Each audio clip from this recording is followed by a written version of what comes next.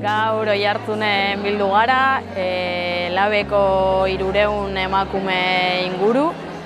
greba feminista orokorraren aldeko gure konpromesua adierazteko, grebaren bide honetan pres gaudela adierazteko eta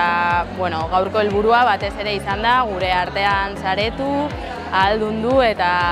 urrengo hilabetetako erronkei eusteko prest egotea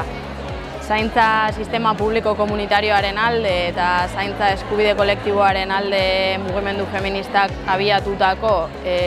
borroka honi balioa ematen diogu, besteak beste e, uste dugulako sindikalgintza feministatik e, aspaldi dara magula, ez, borroka honetan lanean, zaintzak erdigunera ekarri behar direla, zaintza langileen e, lan baldintzak duintzeko, zaintza banatzeko, eta e, emakumeok ere bai, ez? Bueno, gure azkapen prozesuan urratsak eman ahal izateko. Gaur oi hartzunetik,